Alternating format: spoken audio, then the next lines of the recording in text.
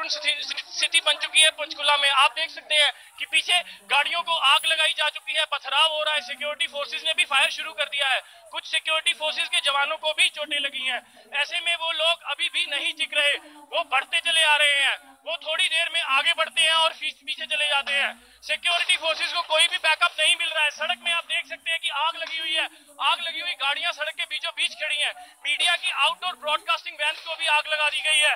और गुस्सा इतना बढ़ता जा रहा है ये आप देख सकते हैं कि किस तरह किस तरह फायर हो रहा है। लेकिन लेकिन समर्थक थमने का नाम नहीं ले रहे।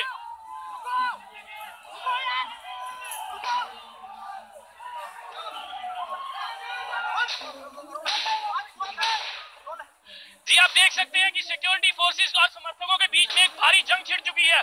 आप देखिए हवा में धुएँ गाड़ियों को आग लग चुकी है और बहुत सारा सिक्योरिटी फोर्सेस ने फायर भी किया है।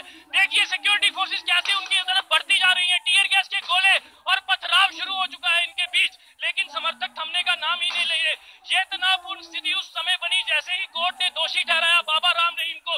ये उसके समर्थक है जो चार दिन से सड़कों के, पंचकुला की सड़कों पे वेट कर रहे थे कि किस दिन बाबा का फैसला आएगा और हम उनका आप देख सकते हैं कि सिक्योरिटी फोर्सेस कैसे आगे बढ़ती जा रही हैं। और धुआँ, हवा में काला धुआँ इस इस चीज़ को बयान कर रहा है कि यहाँ की हालत कितनी खराब हो चुकी है। मैं अपने कैमरामैन से रिक्वेस्ट करूँगा कि धुआँ दिखाए एक बार। ये लगती हुई गाड़ियों को आग लगी हुई आउटडोर ब्रॉडकास्टिंग वैन्स को भी आग लगा दी गई है।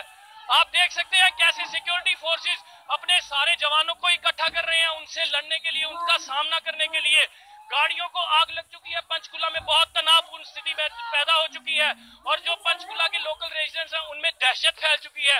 ये बाबा के समर्थक अभी तक भी यहाँ पे सड़कों पे खेल रहे हैं, पथराव हो रहा है।